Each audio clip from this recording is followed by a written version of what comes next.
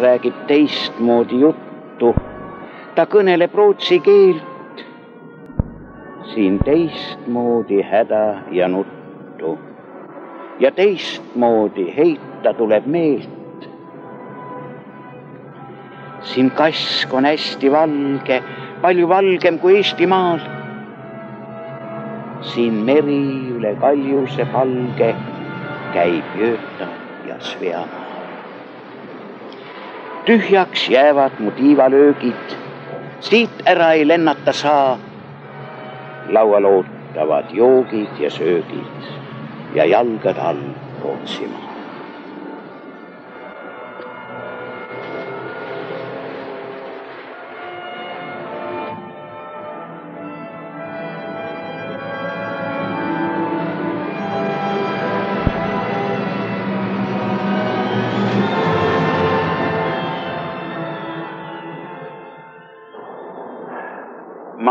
Maapagulasel on kaks kodu. üks on reaalne, see maa, kus ta elab. ja teine, mis kunagi oli, see on ja oli kuidagi ebareaalne. kui mul avanes võimalus tagasi minna oma tõelisele kodumaale Eestisse, siis paratamatult ma tundsin, et seda maad, mida ma kogu aeg oma mõttemaailmas kandsin seda sellisel kujul enam ei olnud. see maa ja see kodu oli ja eksisteeris ainult minu luules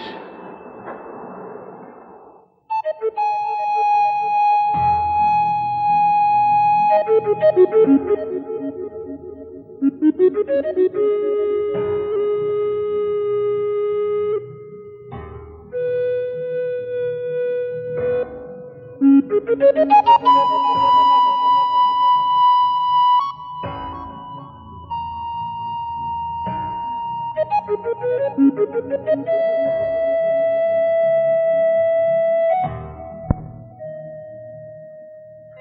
on ikka küla-küla. küla-küla. jah. vanasti oli ta Prähnu küla, nüüd on küla-küla. no aga vabariigi ajal? kas vabariigi ajal oli ta küla-küla? see ei ole Prähnu küla. Prähnu. jah. siitsamast lauda tagant hakkab tulema üks selle kuuli tagant, läheb Jah. piir, siit taga, seal teine pool on küla-küla, siit pool Prähnu küla. ahah. vaat mida pärast ma küsin, on, mina läksin siit rannast. jah, see on Prähnu, Prähnu rand. Ahah, aga siis, kus ma, kus ma olin, see oli jah. ja nelikümmend neli oli. nelikümmend neli, nelikümmend neli aasta. Te, kust te siis olete Rootsist tulnud või? ja, Ja- Kanadast või kust te? Rootsist, Rootsist, jah. sest eh, mina muud ei tea, no muidugi siis polnud aegagi uurida. siis öeldi, et see on küla-küla. no ja, aga see me siis, tulime sealt, tulime eh, Mätspäält, sai tuldud, see tuli kuidagi niisugune pööras sinna. no ja, aga siis teate, siis oli vanad teed ja vanad asjad olid kõik ja Ja, siis ei olnud seda metsa siia üleüldse, mis praegu ei siin on., sellepärast Jah, ma tean, et seda, see, see sealt talust jah, meie vaatasime otse merele. no siis paistis ära, ma Jah. tean seda, et nurgasääre tagant särult, kus laevad tulid.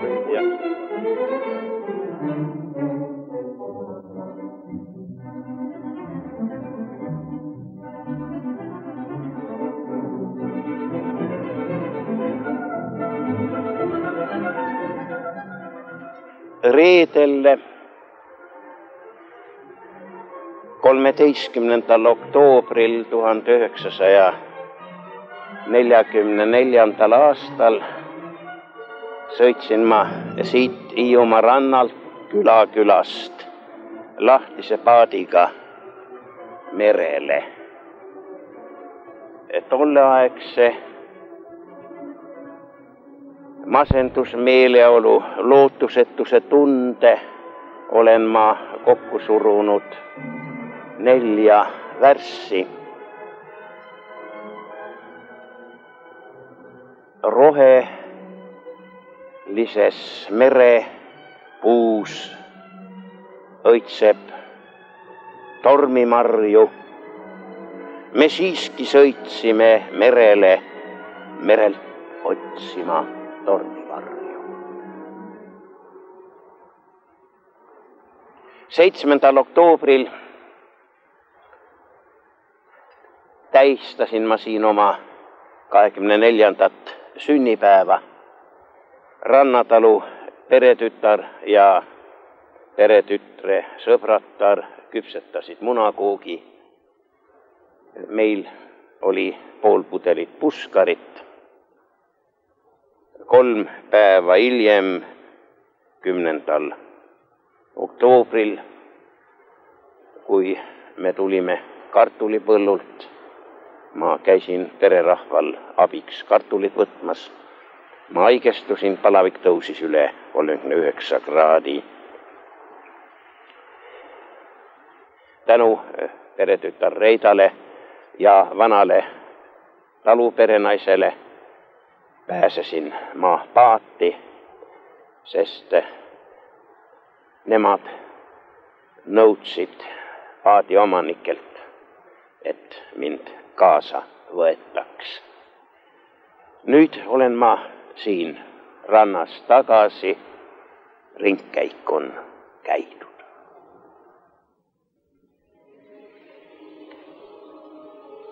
mererohelises puus küpseb tormimarju. me siiski sõutsime merele, merelt otsima tormivarju.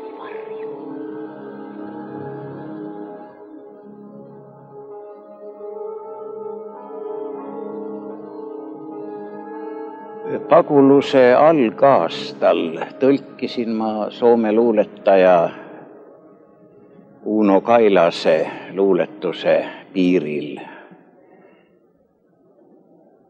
nimetatud luuletuses Uno Kailas võrdleb ida ja lääne vahelist piiri kuristikuga. me seisame ida ja lääne piiril. Narva jõe paremal kaldal on maad ligi süngelt ähvardav Ivan Korot või Jaanilinn või siis kohamuistendis tuntud hobuse nahalinn. Narva jõe vasakul kaldal kõrgub Hermanni kindluse neljakandiline torn. me seisame tõesti ida ja lääne piiril ma olen kaasas olnud väga kurval sündmusel, näinud okupatsioonivõimu sissemarssi Eestisse ja täna elan ma üle rõõmustava päeva, kus ma näen okupatsioonivõimu osalist lahkumist Eesti Vabariigi territooriumilt.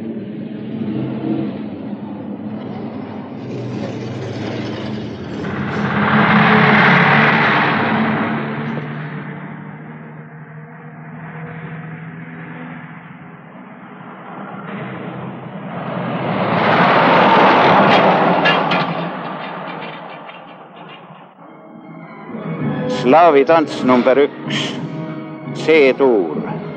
rikkad rajasid riigi, keisrikojale tiigi, vangimaja ja seegi ei nurisenud keegi. rikkad olid prisked ja paksud, vaeste kanda jäid maksud, kõik oli õige ja aus, paus. E-moll.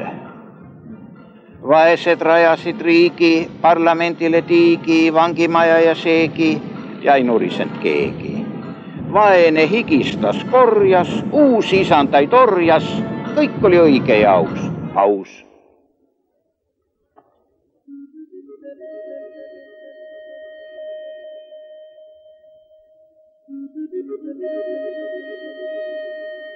mu tagasitulek Eestisse oli ühenduses ennekõike mu emaga. Ma ei tahtnud läbi elada samasugust olukorda, kui seda tegi kunagi Gustav Suits, kes kirjutas oma Kerko Kella. Ja seal oli siis niimoodi, Kalju seal kasvas ja tema armas pani, koht oli alati seal palvemas istuda ja mõtteid vilgutada. ja, ja nii midagi ma ei tea nüüd erilist enam palve ja siis oli veel meil, kui me palvema endimaja uksest välja tulime, siis, siis oli üks väike niisugune kallak, liivaauk oli seal ja siis ta armastas väga seal liivaaukus mängida ja seal olid pihlakad kasvasid kahjuks need piilakud on nüüd maha võetud. Jõululauba, jõululauba õhtu vaatasin siit akendest omal kui kiriku. akendest vaatasin siis, kui kiriku säras küünaldes ja siis läksime, kui kirikuaeg oli, läksime kirikusse jõulus, tulime tagasi, siis muidugi panime ise toas juba, siis olid kõik sugulased koos ja ja panime siis äh, küünlad kuusel põlema ja mälestasime siis neid, kes olid lahkunud meie keskelt ja ja siis minu, minu ema veel elas ka ja minu ema oligi hoidja Kaljul. enne kirikusse minekut käisime me alati vanaemaga surnas, surnuaias. haudadele ja, ja see on täiesti meeldejääv, kui me eh, tulime, siis küün- või tähendab juba need kiriku aknad olid valged. Valged ja, ja kell lõi. Ja siis tulime üle lumise välja sealt tagant. see on mul siiamaani üks nii eh, jälle meeldejäävamaid elamusi oma, oma nooruspõlves. siin oli kõik see, kõik see rahedam ja kõik see parem elu oli siin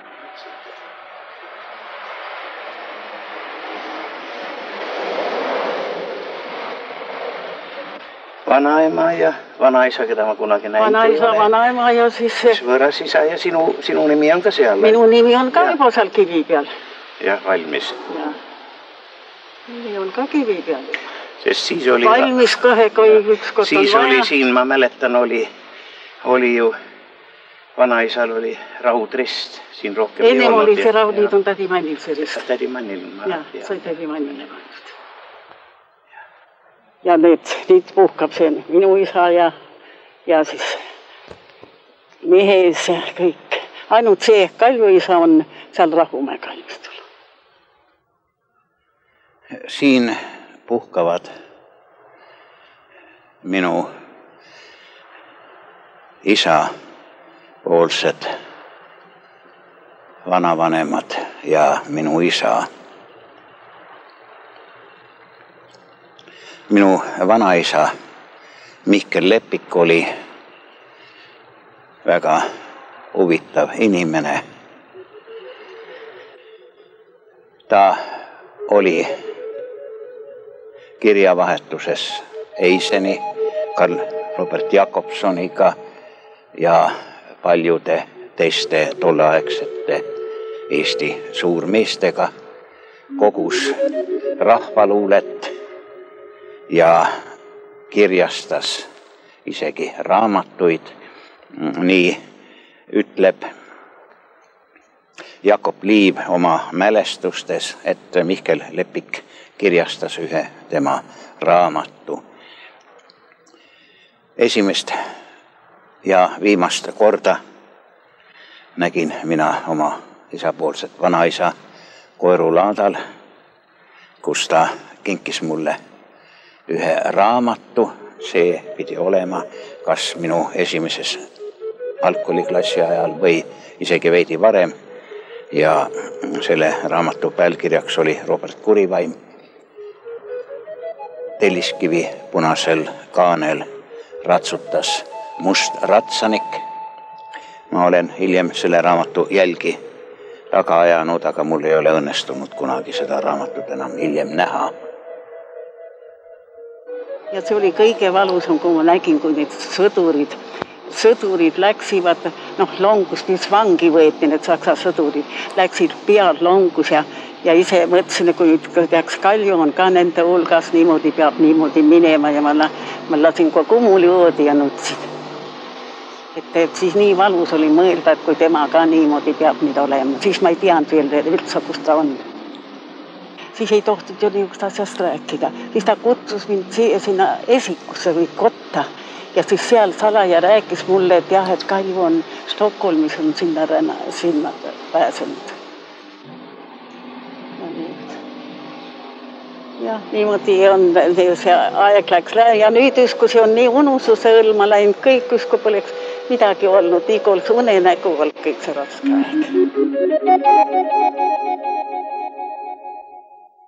no mida öelda siis elust luuletaja naisena? Selle, selle üle ma peaks tegelikult väga pikalt eh, järele mõtlema, aga see võib ju olla, et, et see elu on natuke teistmoodi on, kui, kui, kui see oleks näiteks ühe ärimehe naisena olnud. sellepärast siis on perekonnas hoopis erinevad huvid ja meil on ju elu niimoodi olnud, et, et nii palju kui võimalik sissetulekust läks raamatute ostmiseks. ja Kaljul oli neid vaja. ja selle kõrval muidugi meie mõlemi meelehääks ja rõõmuks me oleme saanud kaunis palju kunsti osta, eriti Eesti kunsti muidugi.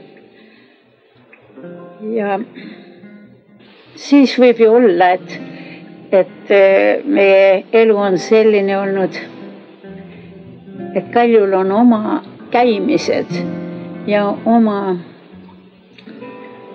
tegemised olnud, mida ma olen mõistnud. ta on ainult kas oma kaaskirjanikudest sõpradega ühiselt saanud teha ja, või üksinda nii et palju on sellist tundi olnud, kus, kus ma olen äh, taibanud, et tal ei ole minu abi ega seltskonda vaja. võib-olla selline vahe on luuletaja naise elus see, et peab taipama, millal, millal minna igapäevast harilikku juttu ajama ja millal teine oma elukaaslane rahus olla lasta ja varem või hiljem ta tuleb ikkagi ja, ja tahab rääkida ja väga tore, kui ta on mõne uue asja laulu kirjutanud ja tuleb näitama seda. alati on ju, ma arvan, ühele kirjanikule vaja ka kedagi kohe, kes nii-öelda väga, väga värskelt ühte asja loeb mitte, et mina oleks mingi nõuandja saanud olla, ma ei taha kuidagi seda öelda, aga, aga no ikkagi ma olen harilik lugeja. ja ma ei oska öelda mingit, ma arvan, et minu elu oleks suurtes joontes, suurtes joontes olnud samamoodi, ainult et tuleb, et ma olen pidanud ennast mõni, mõned korrad pingutama, et endale meelde tuletada, et lasta kaljud elada oma elu.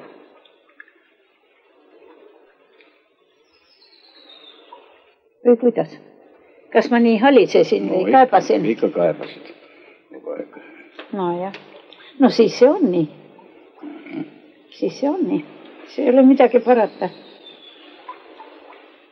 aga alati on see, tuleb, inimene peab meeles pidama, et alati oleks võinud palju hullemini minna palju,. palju-palju halvemini nojah, ega nüüd ometigi lint ei käi.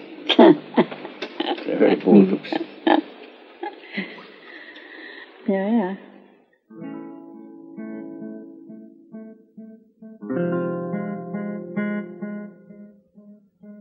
Nii lihtne on laul, laul sinust ja minust. nii lihtne on laul, laul sinust on laul armastusest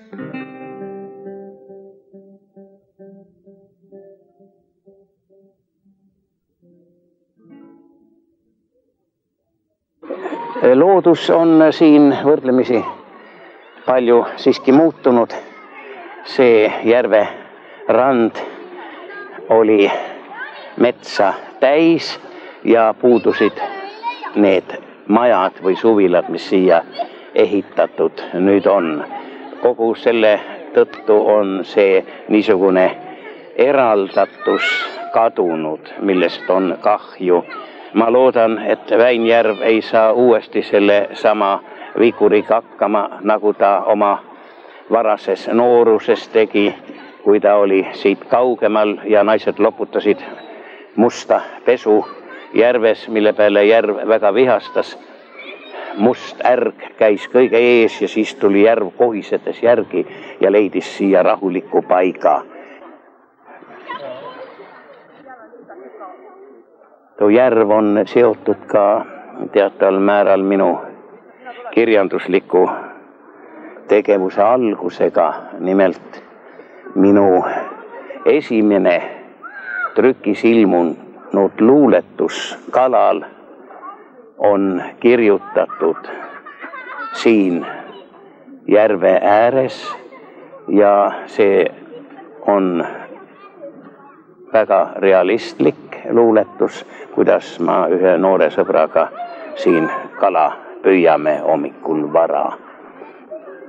nii et siit järvest on saanud alguse minu luuletuste trükis ilmumine.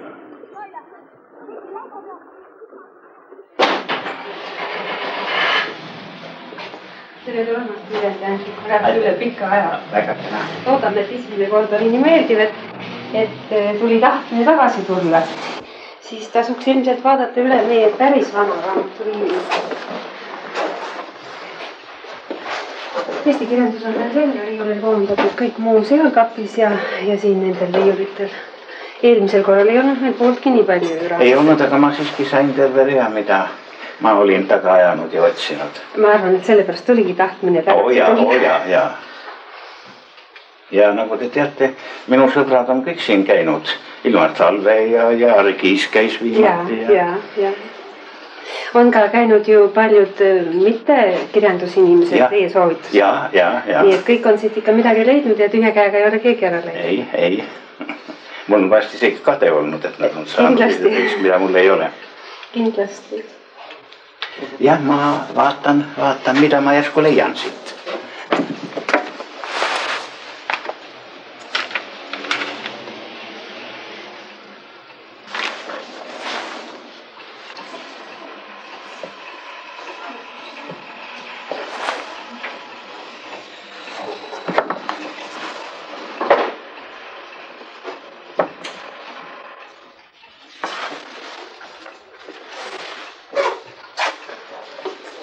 jaanipäev mul on, ma vaatan seda sirvi ümber läbi täpselt. see on seitse nelikümmend. seitse nelikümmend. see oli kakskümmend kaks midagi vist. kakskümmend kaks viis. vaata, mis see kokku teeb, kui meil raha ongi. mul oli vahepeal kokku nähtud. jah, niisugune ilus arvemasin, teil ei ole. ma oskan seda muidu väga hästi ümber käia. kahekümne aasta.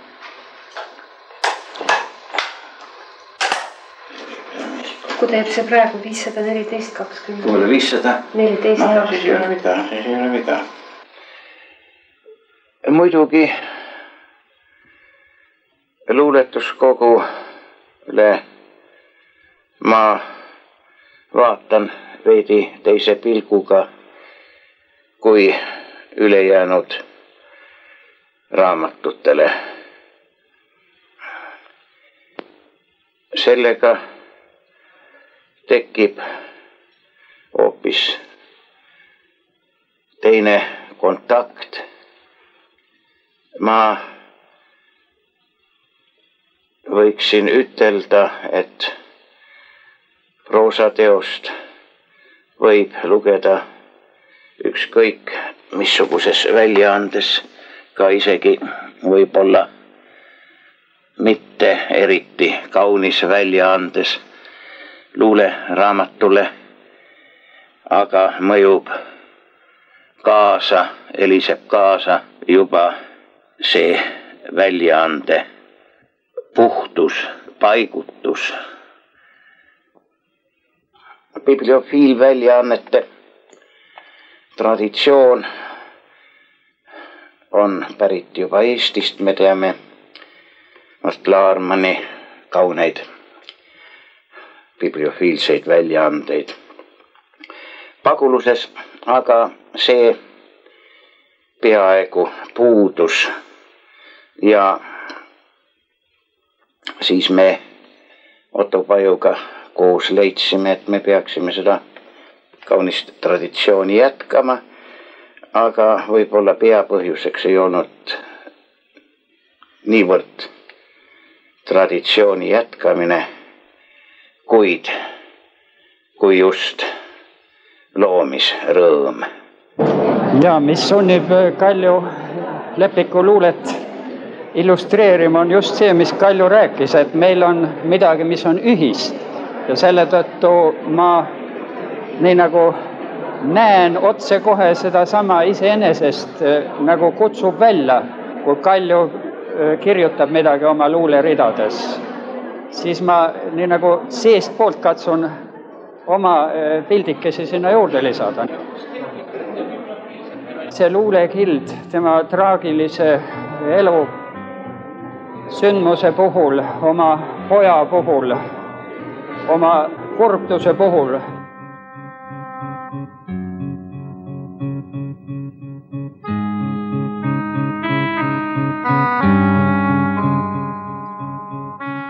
kord laulis kaheksa lindu, iga laulust sai pilemees. lõolaulust sai lihtne hindu, lihtne laulik ja vilemees. seitse laulikut kuninga majja läksid, pilet leid kuninga ees. paadil lihtsal üle kangese laia sõitis hindune vilemees.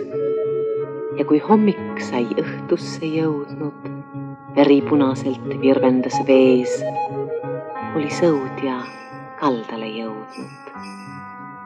oli Jumala palge ees, puhus vilet ja tuhat lindu laulis Jumala palge ees. see mees oli lihtne hindu, lihtne laulik ja Jumala mees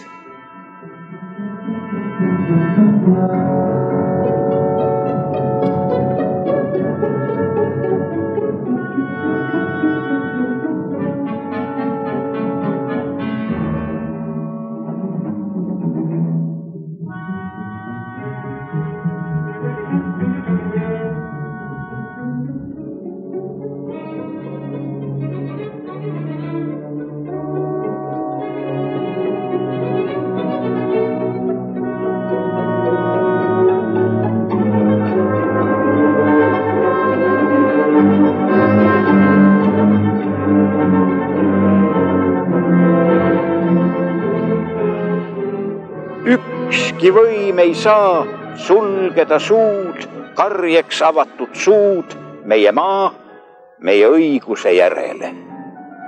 ka siis, kui meie hõim selga saab surisärgi manala õues, kuulete kisendust kõues, kanarpikkuse soos, sügissajus ja rajoos õiguse järele. sinu käed nad aheldanud, kodumaa, peksnud narmaiks su piha aga su vabadusiha murda ei saa võõra piits ega kepp. vaevakask ja maarja lepp nurmedel mullani maas, aga nad ei sure, vaid tõusevad taas siis, kui sureb meie mure. pilved pahempidi karjun, killu kisendan kuust. mu kisendus lõigakul läbi teie lihast ja luust. tükkideks kisendan taeva, kisendan mustaks päikese isendan, kuni teil väikese ja vahva maa ning rahva kannatuse vaeva pärast on häbi. kui teie hävitate meie keele, kui teie hävitate meie rahva, kivi nagu vihm teie põldude kohal, kivist oras võrsugu kivist, kivist leib olgu teie laual, kivist muld teie jalgade all. Kivist taevas olgu teie üle. meri muutugu kiviks, kiviks nagu teie süda on kivist meie maa ja meie rahva vastu. Tartu oli minule ju ikkagi linn, linna mõõtma koerust, väikesest alevikust. Kunsti, kirjanduse ja üldse kogu kultuureluga tunduvalt laiemalt, kui seda oli mul kodukohas Koerus. see oli noorele poisile suur elamus.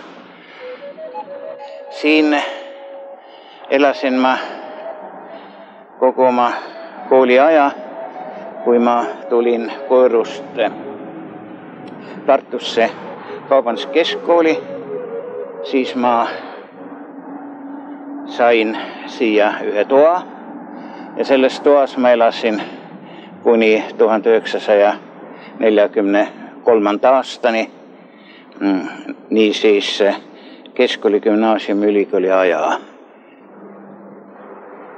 Esimene kirjanik, kellega ma kohtasin, oli Erik Laitsaar ja meie mängisime temaga siin malet, nii et tema oli esimene minu kirjanduslik tutvus, teine oli Bernard Kangro, kes elas Tähe tänava ühes majas.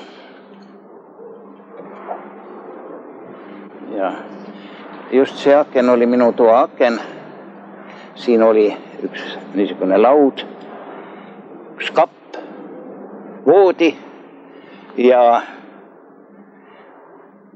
roheline kast, millega minu üks onudest oli käinud sõjaväes, nii-öelda sõdurikast. ja selles sõdurikastis hoidsin siis mina oma päevikut, oma esimesi luulevihikuid ja kõiki muud sellist, mida oli tarvis luku taga hoida.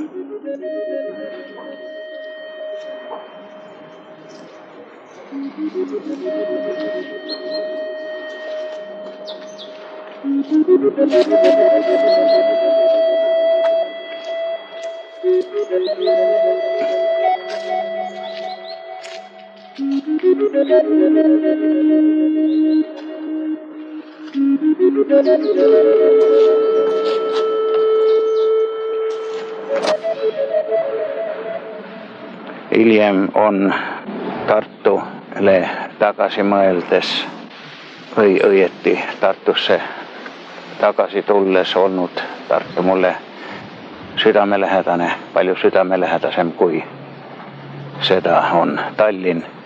ka sellel külaskäigul tulin ma Tartusse kui oma koju.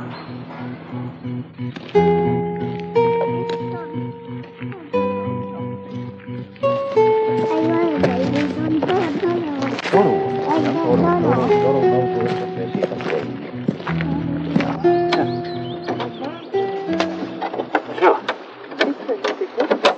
oi, oi, Illimar, Illimar, oi, näed, vaata, sul on, näed, post, oi, missugune kaart, näed. hoia täda, Hoia seda. hoia täda. Armas Silvi, oleme lennujaamas, lendame varsti Ameerikasse, igatseme sinu järgi. loodame, et sul on tores. söö palju pannkooke ja korralda koogipeo teistele. kalli, kalli ema-isa, noh, näed. mina ütlen Sillile saata. ahah Kalju Lepik on minule alati olnud ja on ikka isa.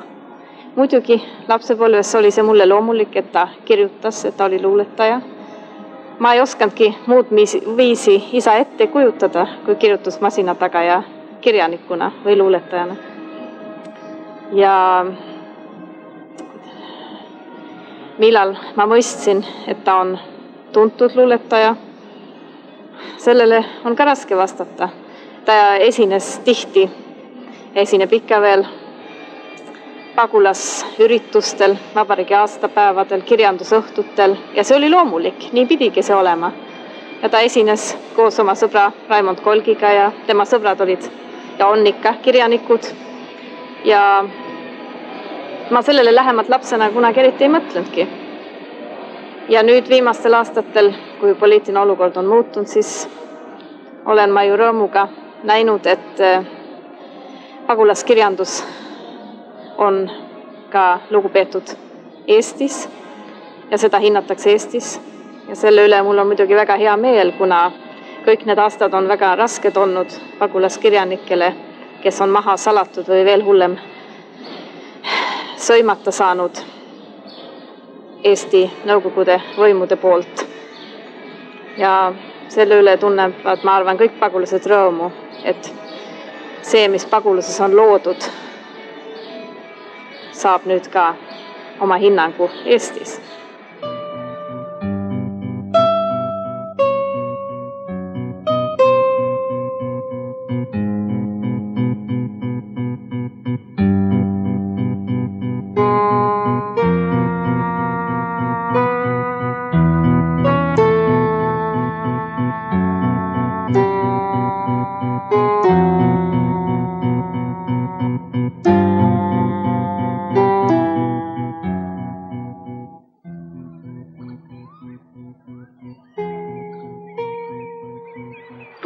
astuvad paljapäi läbi lumise linna, kuhu väike Illimar jäi, lauldes läks laulude linna. sinna, kus kauge Jumala saar põlevast torglasoost juttu jutustab muutlik vikerkaar. aastad ruttavad ruttu.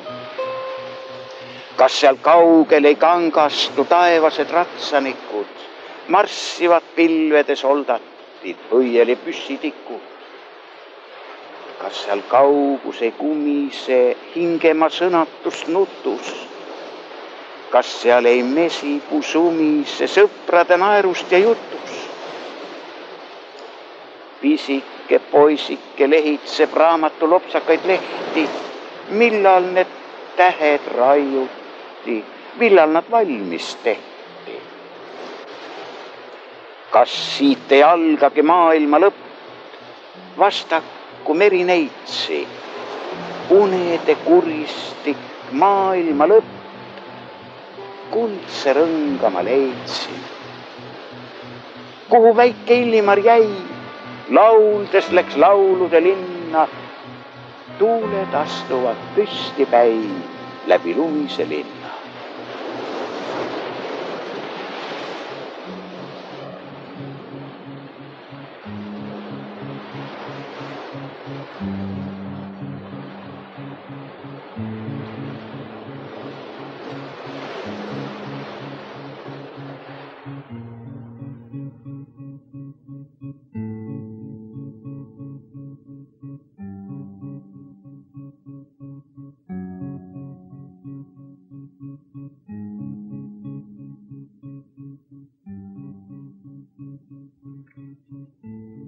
Enam kui pool sajandit tagasi, siis kui maailm ei tahtnud kuulda midagi meie valust ja meie hädadest.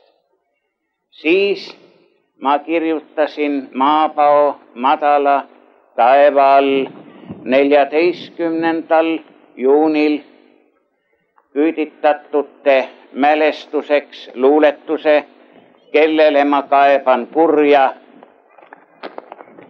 selle luuletuse loen ma täna teile küüditatute mälestuspäeva kodumaa pinnal.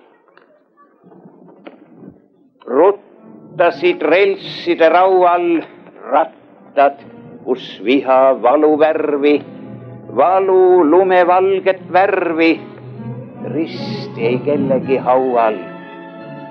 kõrged kuused kohisesid, ainukesed kaasatundjad. magav maimuke kambrist kisti, taadis ülest kogunisti. mulla alla taad magama. sinna, kus viha valuvärvi, valu lumevalget värvi risti ei kellegi haual. rattad ruttasid raual. kellele ma kaeban kurja, kurjale, et kargaks turja. ühel on pehme pesa, teisel on kündmata kesa. kolmas mõtleb mõnusasti, kuused kurvalt kohisegu, lepiku lapsed leinaku tammed tigedad tõrelgu, mina võin pilgarit pidada.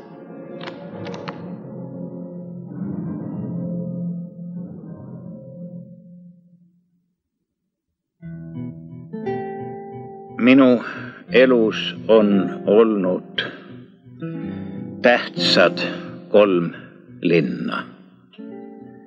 Tartu, mu keskkoolipäevade ja ülikoolipäevade linn.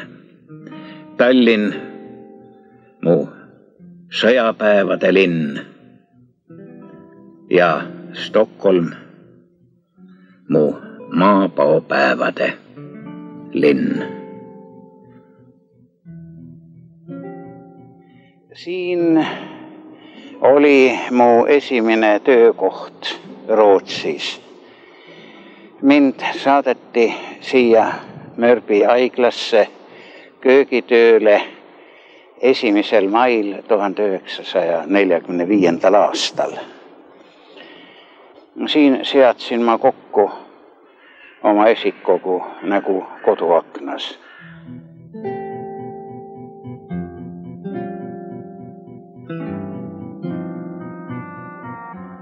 selles majas Arsenaalskaatan üks töötasin mina kaua aega Eesti Rahvusnõukogu raamatupidaja majandusjuhatajana ja Balti Arhiivi juhatajana. selles majas asusid Eesti Rahvusnõukogu Balti Komitee, Balti Humanistlik Ühing, ajaleht Teataja, Balti Arhiiv ja Balti Instituut. siin pidasid koosolekuid Vabariigi Valitsus eksiilis ja välismaine Eesti Kirjanike Liit. Riksarkivet har bott här i 25 år. Egentligen eh, är vi från 1618 när vi, vi blev ämbetsverk med rötter i medeltiden. Men det är nu en modern byggnad där vi har papper från cirka 800 år. Och eh, allt ligger nere i berget här i sex våningar, cirka 15 kilometer papper. Det är bara där uppe där forskarna sitter och arbetar och tjänstemännen. Eh, siin on nüüd üks eh, ristikivi eh, arhiivi kartong, kartong number kolm ja see sisaldab ristikivi päevikud. ja see ajavahemik esimene, esimene tuhat üheksasada kuuskümmend üks kuni kolmkümmend üks, kaksteist, kuuskümmend kaks. Mm, ristikivi pidas päevikut täpselt 20 aastat.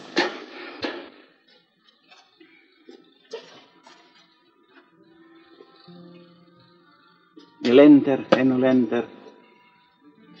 Murakin. Korn. Ja, Korn. Kailit, August Kailit. August Arras, Astrumor. Helmi Kurrik, etnograaf, väga huvitav arhiiv.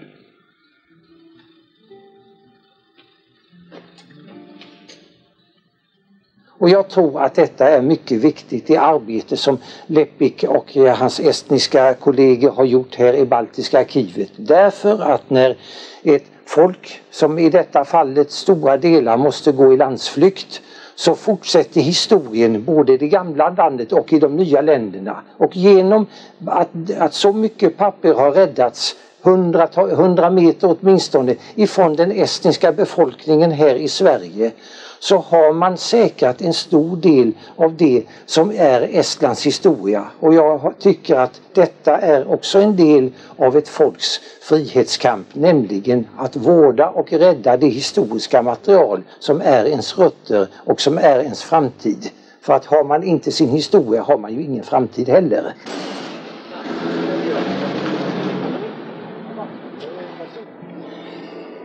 Tuhande üheksasaja neljakümne kuuendal aastal kolisin ma koos Raimond Kolgiga Stockholmi Kungsholmi linnaossa Karvarkaatanile number kolm, kus me üürisime mööbleeritud toa Reili Johansoni käest. me olime üles öelnud oma kohad Mörbi haiglas, kus me töötasime köögitöölistena, küürisime katlaid, pesime põrandaid, koorisime kartuleid, puhastasime kana ja kala ja nõnda edasi. no ja sõprus on ju rohkem isiklik asi ja seda muidugi, me oleme vanad sõbrad ja nii. no aga, aga teine asi on nagu öeldud, see hakkas juba sellega, et, et raamatuid tuli teha ja, ja see on olnud ka säärane koostöö läbi aastakümnete. no ja, ja samal ajal on see olnud siis koostöö, kus sa oma, oma teiste kaas- või koostöölist tõesti võid usaldada. ja see on ju väga tähtis asi ja, ja, ja eduks siis tegevusele.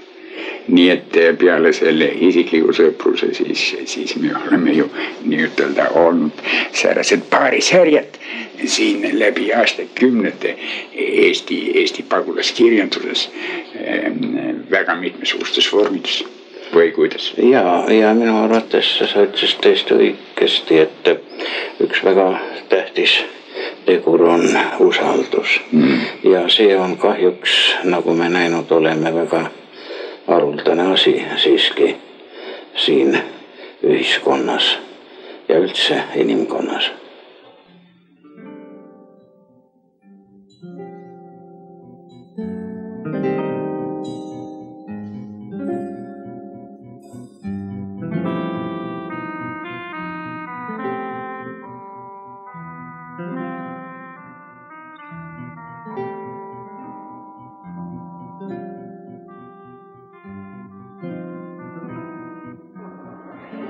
siin asus väga tähtis asutus, nimelt viinakauplus. nüüd on siin ümberehitused toimunud, uksed käivad automaatselt lahti ja kinni.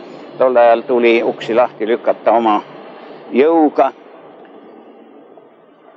lugu oli nii, et tollel aegul oli viina ostmise õigus alles kahekümne viie kui ma ei eksi, kahekümne viie aastaselt. ja viina sai osta vastava viinaraamatuga, mis piiras viina tarbimist. igaüks sai osta üks liiter viina ja mõned pudelid veini kuu kohta. kuna kolgil ei olnud veel aastate arv täis, siis pidime meie elama minu viinaraamatu peal me käisime küll koos, aga Kolk aitas pudelit kanda. mina jälle selle eest andsin oma raamatu, kuhu ära märgiti, et ma olin ostnud nii, nii palju. päeval kopsis ja õhtul jõi, ükskord rusika lauale lõi, kõrtsimees enam su solki ei taha. jätan joomise hoopis maha. lappisin vanu ja tegin uusi, raha kandsin su õllekruusi naist ei ole, vald on täis lapsi. kõrtsimees vala veidi napsi, ütles ning rusika lauale lõi ja siis edasi jõi.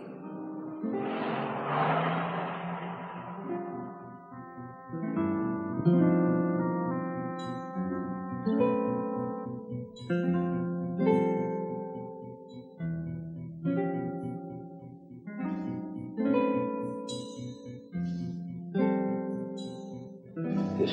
asus kohvik Siivers.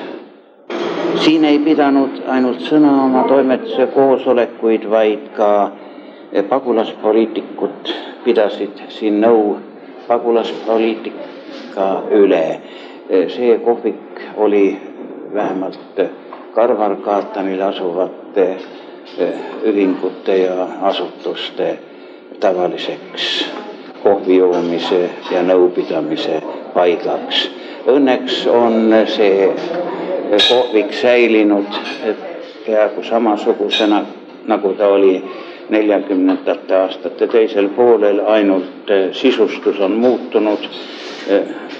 üldilme on muutunud heledamaks. siin oli võrdlemisi tume mööbel tolleaegu ja võib-olla ka kogu ruum oli veidi hämaram.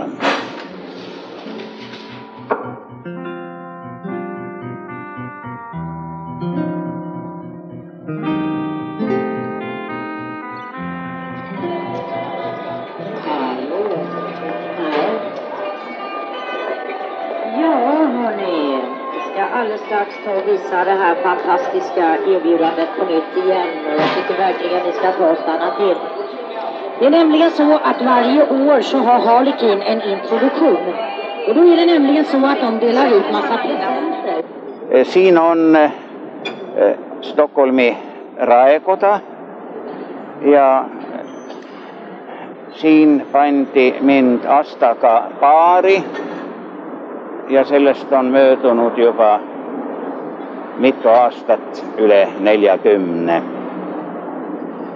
tollel ajal oli heaks kombeks abielluda kiriklikult. meie aga Astaga seda ei teinud, vaid abiellusime kodanlikult. ja selle vastu aga meie kihlusime vabariigi aastapäeval, kahekümne neljandal veebruaril ja meie paaripanek Raekojal, kojas toimus võidupühal, kahekümne kolmandal juunil.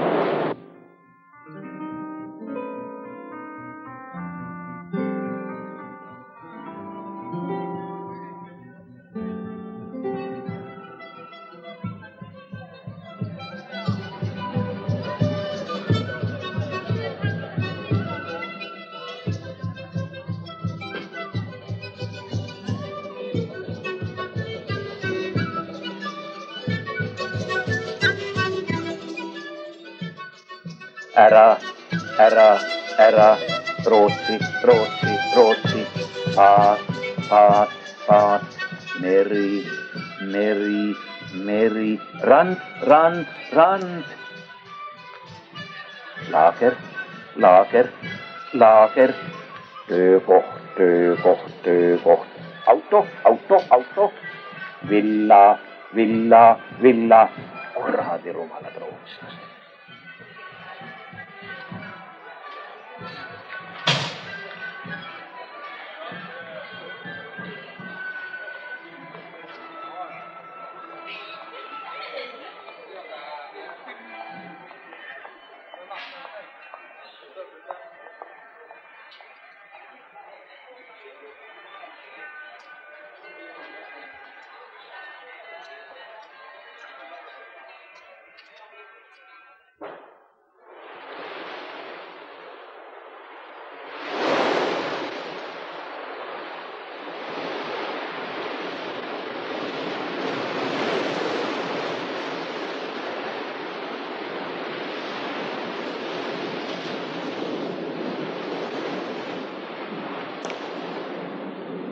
Tule minuga Ruuslaageni rannakaljudele.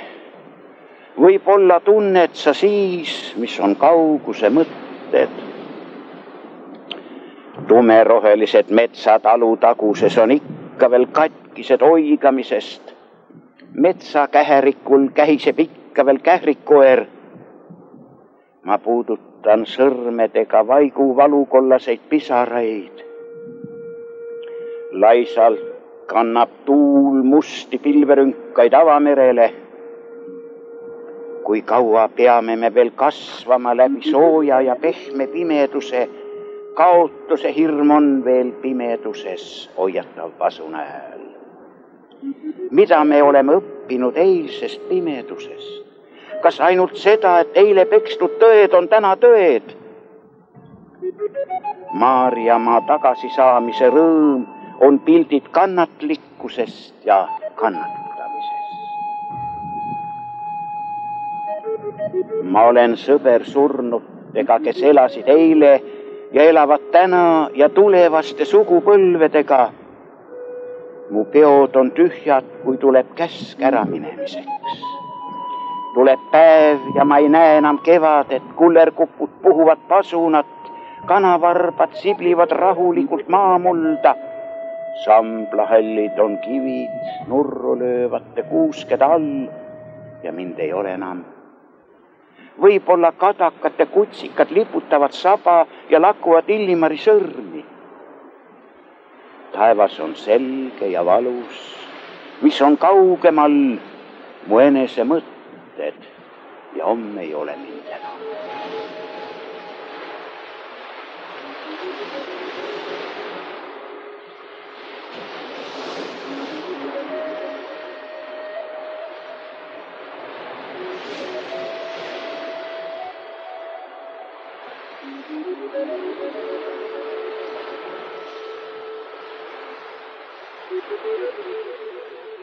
mu maapadu on lõppenud. maapaeepus on lõpetatud. ringkäik on käidud. uue loomingu alguseks tuleb tagasi tulla Eesti maa ja rahva juurde, Eesti mulla ja vee juurde otsida pidepunkte kadunud aegade hämarusest. oma ringkäigult mööda Eestimaad olen ma jõudnud Kihnu. siin on veel palju mulla ja vee lähedast ja kadunud aegade lähedust. võib-olla leian ma siit oma uue loomingu alguseks pidepunkti. kus on kodukülade nukrad kaevuvinnad, kus on Kolgata mägi ja kadunud linnad, kus on supelsaksad ja puhtad veed, kus on kõik need, kes on käinud Siberi teed, kus on punaste pohlade, punaste pihlamarjade maa, kus on surmakäsi, mida keegi ei peatada saa kus on lauliku haud, kas südame sügavas põhjas? kus on mu kodumaa, kas idas, läänes, lõunas või põhjas?